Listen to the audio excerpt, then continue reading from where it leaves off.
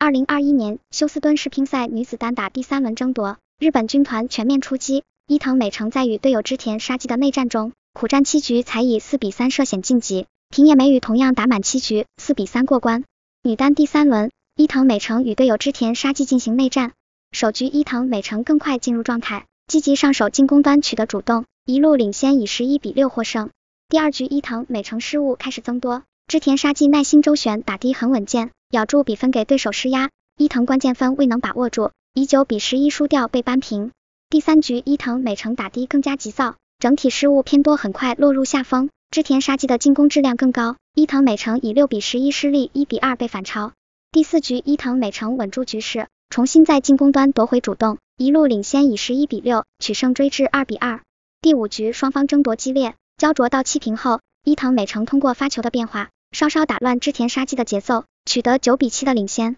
局末关键时刻，伊藤美诚的细节处理更到位，限制住织田沙纪的上手，以十一比八在下一城三比二领先。第六局伊藤美诚上来就连丢三分，织田沙纪搏杀频频得手，伊藤美诚一至四后又被打了一个零比四，对攻战完全落于下风，以二比十一惨败被追至三比三。决胜局伊藤美诚重整旗鼓，开局积极主动，进攻提升成功率，取得四比一的领先，迫使对手暂停。暂停后织田沙纪加强进攻，伊藤美诚五之一后有些手软，被追至六比四。好在伊藤美诚还是经受住考验。六至四后一波四比零的得分攻势，十至四获得赛点。织田沙纪连追两个赛点，伊藤美诚反手位相持命中，以十一比六锁定胜局，总比分四比三涉险过关。平野美宇对阵斯洛伐克选手巴拉佐娃，首局十比十二惜败后，第二局和第三局先后以十一比五和十一比七获胜二比一反超。第四局平野美宇失误增多，又六比十一落败。